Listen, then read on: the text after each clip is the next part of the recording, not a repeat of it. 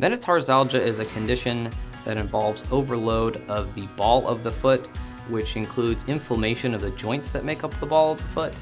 There are several contributing factors, including a tight calf muscle, instability across the middle of the foot, as well as a long or short metatarsal. Treatment is typically aimed at addressing the specific problem, including stretching exercises if we're dealing with a tight calf muscle, custom orthotics to offload the ball of the foot, or even surgical intervention.